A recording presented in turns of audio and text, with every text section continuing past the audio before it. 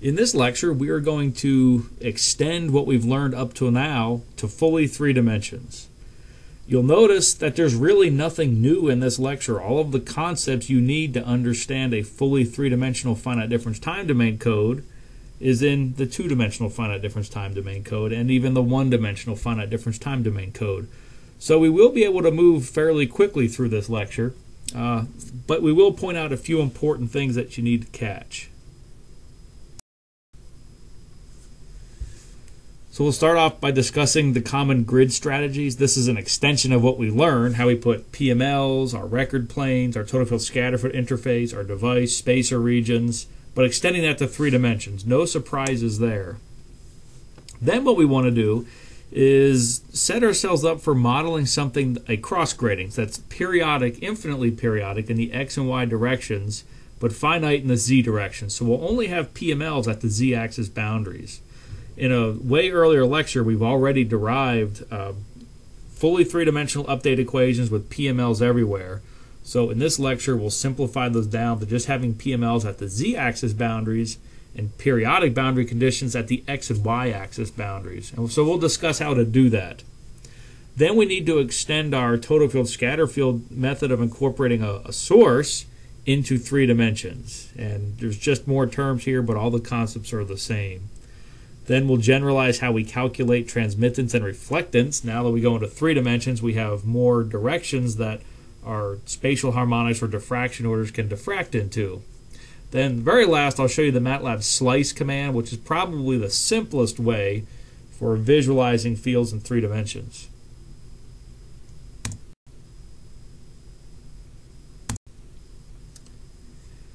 So if we're modeling something that is not of infinite extent in one dimension or infinitely periodic, we need to put PMLs around all of the boundaries. So it looks kind of like this. And clearly inside this shell would be our total field scatter field interface, and then inside that would be some kind of device that's about a wavelength away from the boundaries. So that's how we do our finite size devices. In this lecture, we'll build up on our next grid scheme, and that's modeling things that are infinitely periodic in the x and y directions. So here's how we do this for three dimensions. Just like before, we will have PMLs at the top and the bottom to absorb outgoing waves. We'll have some plane near the top where we're recording reflected fields, some plane near the bottom where we're recording transmitted fields. We have our two slices that's at our total field scatter field interface, our device somewhere in the middle, and then of course our spacer regions so that evanescent fields associated with this device don't touch the PMLs. So when we build a model like this, really what we're modeling is something like this. But since we have an infinitely periodic model, we really can't account for diffraction near the edges. So we're looking at the response throughout the, the bulk of the middle of this thing. And we've seen pictures uh, very much like this for two dimensions. So nothing's changed here, just more dimensions.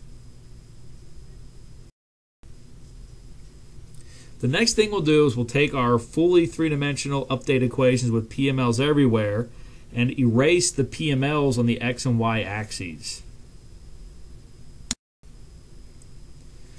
So why even bother doing this? As we go up in dimensions or up in problem size, little tiny things that we think may not be such a big deal become a big deal and really hurt our performance. So it's always good practice when we're going large, and 3D is definitely large, to simplify our equations as much as possible.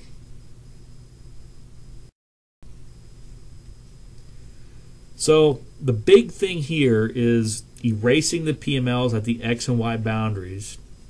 And what we'll see is that our, our update equations simplify and there's a lot of integration terms that we will no longer need and we definitely here um, only, we want to split them so we have PML terms just associated with the top and the bottom. Before we're integrating these PML terms everywhere, we pointed out this is inefficient, but not such a big deal for two dimensions. But when we move into three dimensions, that is a big deal. So we need separate integration terms now for each PML region. So we start off, this is the full set of update equations for the HX field. But since we're getting rid of the x and y PMLs, anywhere we see a fictitious conductivity for x and y PMLs, we can get rid of that. So for example, in this first update coefficient, we see a sigma y. That's the fictitious conductivity for the y-axis PML. That becomes zero, so that this whole term here drops, and this term drops, this term drops, and, and so on. And what we see is we even have two update coefficients that completely go to zero. And these are ones associated with integration terms down here, so we no longer even need to do these integrations. So that's very cool. And so no more integrations for hx anyway. So we can step through all of these. And here's the final form of our update equation for the hx field. This is with only z-axis PMLs. So clearly this is a lot simpler, and since we have many, many, many more grid points now, it, it will be very important to do this. If we did a similar thing for the h sub y, we'd end up here. Our h sub z looks like this. Notice now we have an integration term. That's because here the field is polarized going into the PML, so it turns out our, our update equation doesn't simplify quite like the x and y components did. So we still have an integration term to do here. And remember, we will separate this for an integration term at the top and another integration term at the bottom. It is certainly not incorrect to just do this integration term everywhere. It's just very inefficient now that we have gone to three dimensions. So we probably don't want to do that. Our dx, no integration terms. Our dy, there's still no integration terms. And then finally dz, again, here's a field polarized going into the PML. So we have a, an, an integration term where we're integrating the curl of the H field, the Z component of that curl. Again, this is one we'd want to split into two integration terms, one for the top and one for the bottom, rather than integrate it over the entire grid.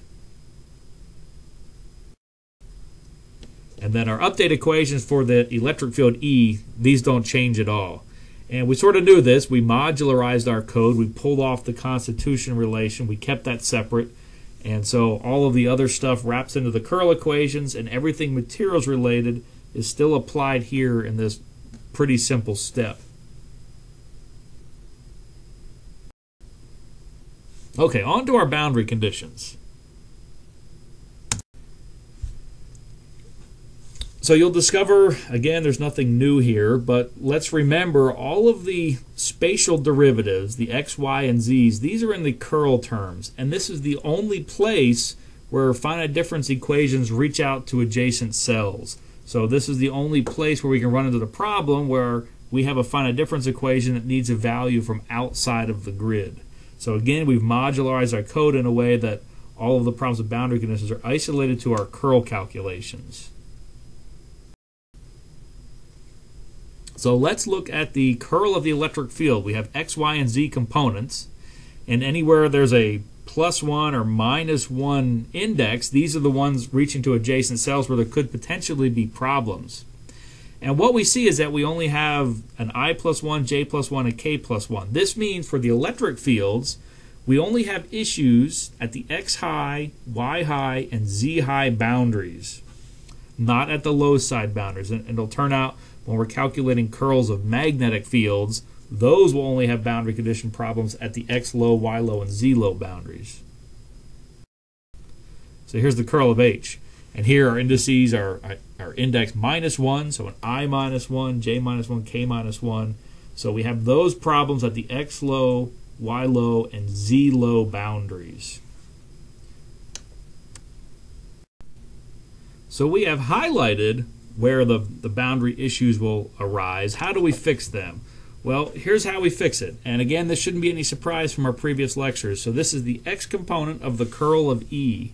Our top equation is our basic finite difference approximation for the curl. And we do this for the bulk of the grid except at the x high, y high, and z high boundaries. And each of those is here of how we handle that. In those bottom three equations.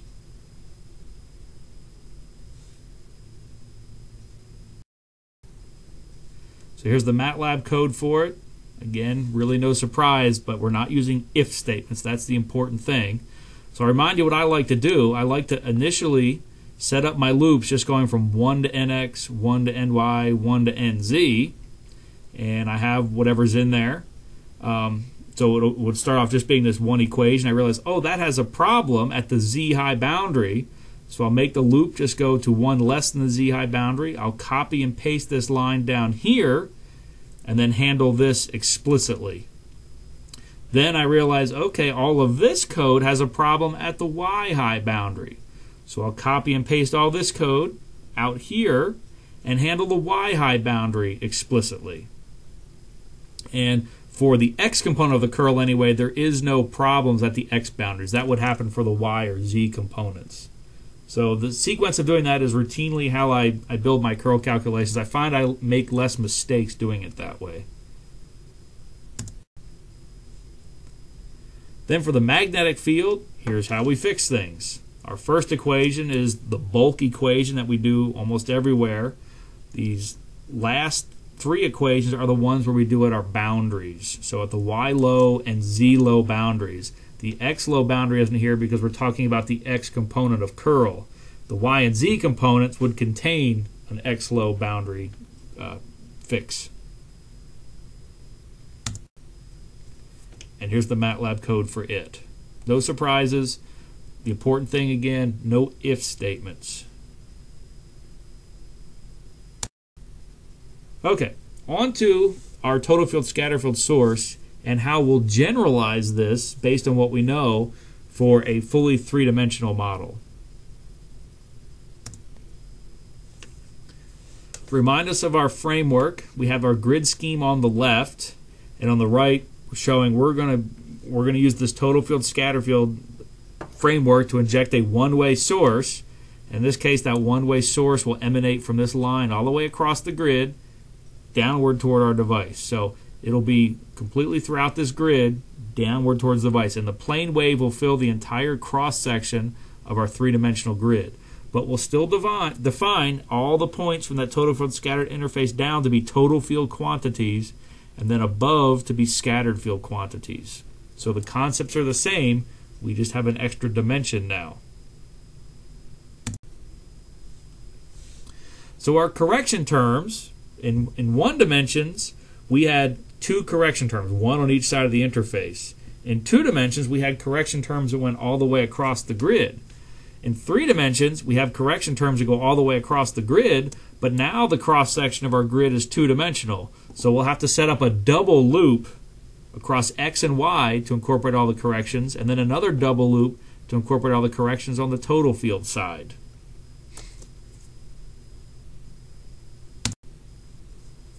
So let's think about what those corrections are. So we have, well, let's say we're on the scattered field side, we're calculating the curl of E, it reaches to the total field side, so we have problems. Here's the X, Y, and Z components of the curl of E. Here's a term that's reaching to the other side of the interface, so we have problems with the X component of curl. Here's another term that reaches to the total field side of the, side of the interface, so the Y component of curl has problems. But notice the z component of curl only uses x and y components of e, only x and y derivatives.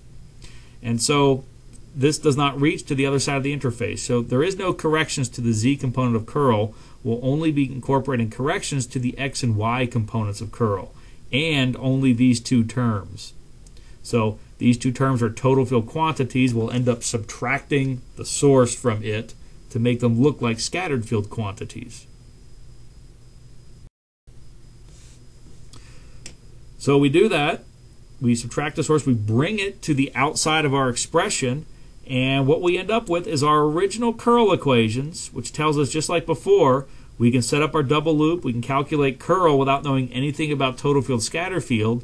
And then when that is done, we'll set up another double loop to go over this range of values right at the interface to add and subtract these two correction terms. So we're adding a correction term to the x component of curl, and we're subtracting a correction from the y component of curl. And so here's how we would do that. Two simple lines of code in MATLAB.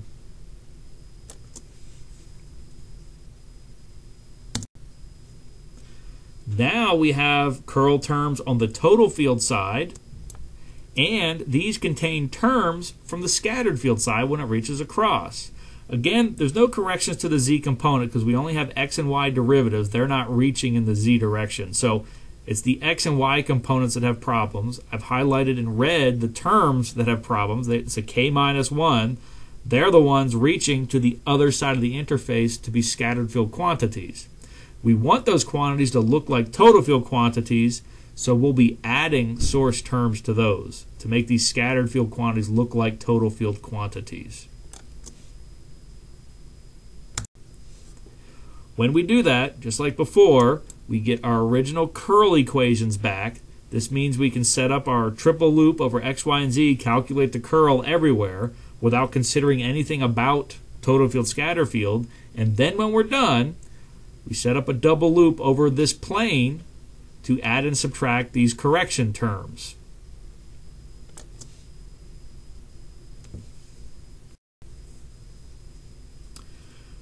Okay, so now we need our correction terms. Notice now we actually require four different things. We need the x and y components of the electric field source, but from the total field side, and the x and y components of the magnetic component of the source on the scattered field side. So we actually need four functions now.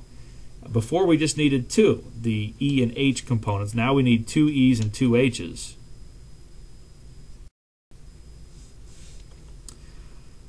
So we'll start with the electric field, and in general, the electric field is some polarization vector times a cosine. And we have our frequency minus k naught nz. So this is talking about a plane wave traveling in the positive z direction, being injected in a region with refractive index in ints. The other thing that we want to do that's always good practice, this polarization vector can point in any direction, but we want to make its magnitude 1 and we always give this a uh, unit amplitude source. So if we separate this into x and y components, this is what we get. Now, E, the, the x and y components of the electric field are at physically different positions.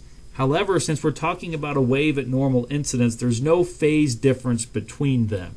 So nothing really needed to happen here and there is no z component, so we don't even really have to worry about the z component of that polarization vector.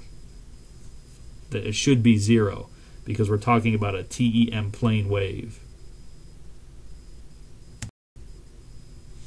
But the magnetic field component's a little bit different, and we calculate that from Maxwell's equations where we'll put in our expression for E and we'll get out an expression for H. And when we work through that, here's where we end up.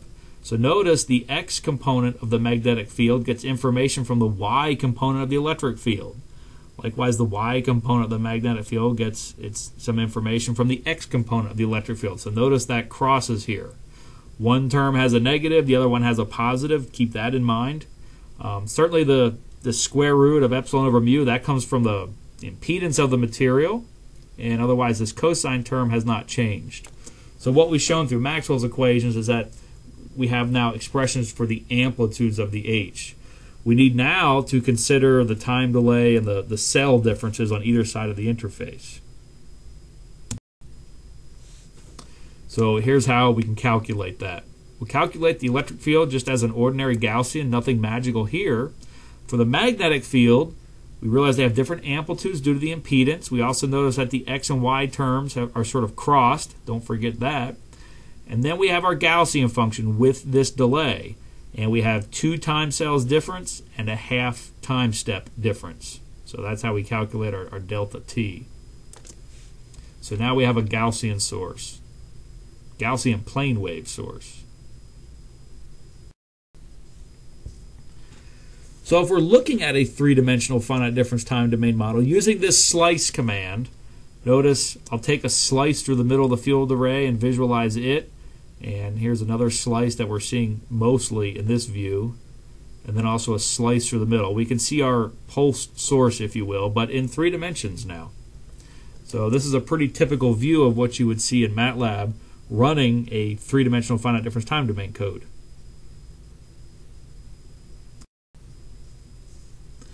Now we need to generalize how we calculate transmittance and reflectance. There's more directions now for our diffraction orders to diffract into. So let's draw a block diagram of how we're calculating things. You'll notice this is not a whole lot different than what we've talked about before. But we run our model and we calculate the steady state components of EX and EY on both the transmitted and reflected side. Now, at that point, the simulation's done. So what's in green here is really the FDTD simulation. The rest of this is post-processing. So the first step in that is to calculate the transverse wave vector expansion. So that's the x and y components of our wave vectors. Then we set up a loop over frequency. And for each frequency, we'll calculate the longitudinal components of the wave vectors. Then we interpolate all of the fields that we calculate up here at the origin. We normalize to the source frequency. Then we calculate the amplitudes of the spatial harmonics. This will be through a two-dimensional FFT now. But we only know the x and y components of those. So we'll calculate the z component of the amplitudes of the spatial harmonics. Given that, we have all the information to calculate the diffraction efficiencies of our spatial harmonics. Then we can add up all the reflected ones to get overall reflectance. We can add up all the transmitted ones to get the overall transmittance. And we do that for every single frequency. So let's visualize these calculations now. So during a simulation, for each frequency we're interested, I'm only showing one frequency, we'll be calculating the steady state fields in this reflection record plane. And so we have an x and a y component that we need.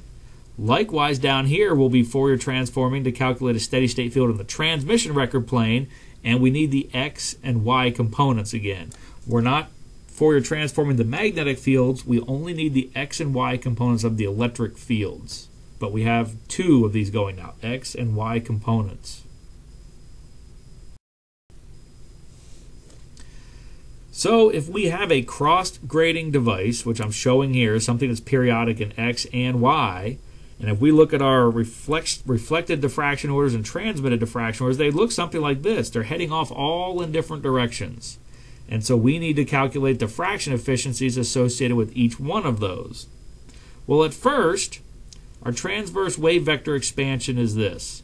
And since we only have normal incidence, these terms here, kx ints and ky ints, will always be zero in finite difference time domain.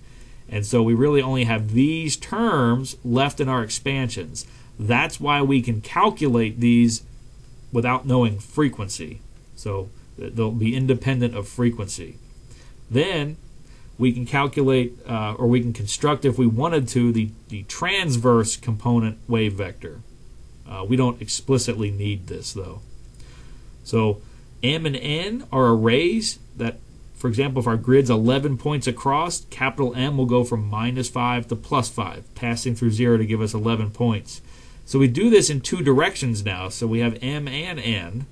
Then we calculate our expansions, Kx and Ky, then we do a mesh grid because we're actually diffracting into an array of plane waves, a, a two dimensional array of plane waves, if you will.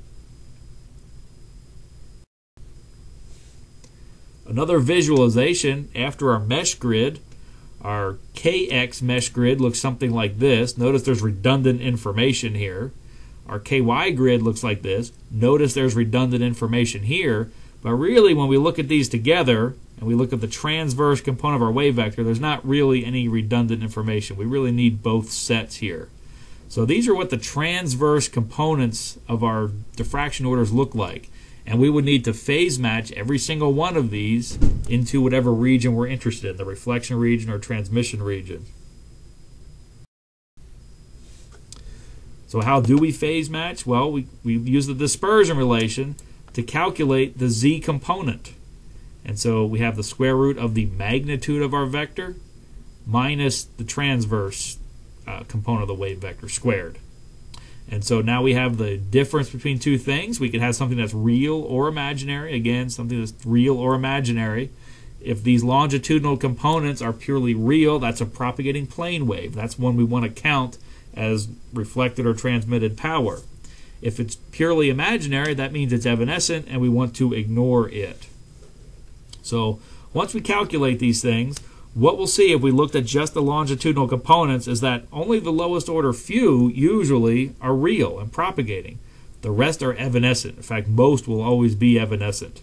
And so we ignore these because evanescent fields don't contribute to power flow, except for that tunneling situation that, that I mentioned in a previous lecture.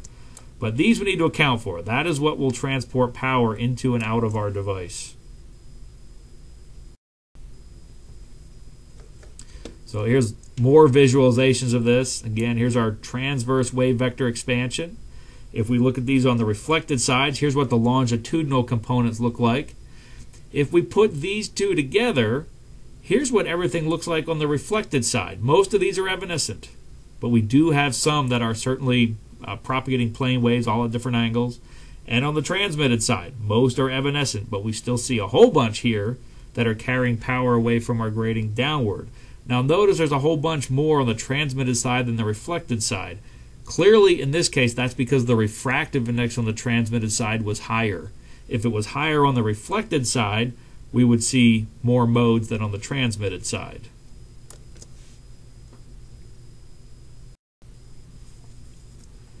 We need to interpolate our field components. We've just calculated x and y components we really want to bring those together to describe a single vector quantity, but we can't when they're at physically different locations. So the best thing to do, I think, is to interpolate all the, the electric field components to exist at the origin. So if we look at our x component, to interpolate at the origin, we need to average this with the electric field from the previous cell.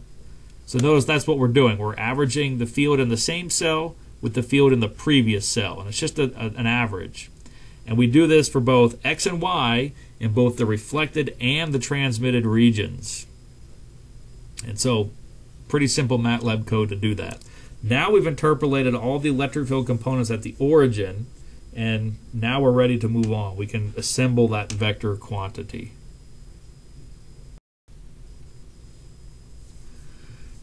This is a good point to normalize to the source. Remember, the source spectrum rolls off with frequency. That will artificially make our reflection and transmissions roll off with frequency. That's not a real thing.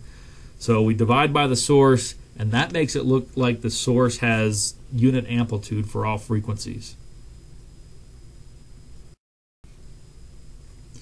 Now we want to calculate the amplitudes of the spatial harmonics. So we calculate the the, the x components of the electric fields, we do a two-dimensional FFT on those, and we calculate the x component amplitude, and so on. If we have the y component of the electric field on the reflected side, we calculate the y component on the reflected side of the amplitudes of the spatial harmonics. We do this on the reflection side and the transmitted side. Notice we're still missing the z component. We need that because we're not really confident of the overall magnitude of the spatial harmonics yet. So we need the z components. So how do we do that? Let's go back to the divergence equation. Remember originally it was del dot d equals 0. We replace d with our constitutive relation, so it's del dot epsilon times e equals 0. Well, epsilon in the region where we're calculating these anyway is constant. So it can come to the outside of the del operator we divide both sides, and we just end up with del dot E equals 0. We replace E, because we're talking about one of our spatial harmonics, with S and the, the exponentials here. So for the in terms of E being a spatial harmonic, here's how we express it. It's its magnitude or amplitude and its propagation terms.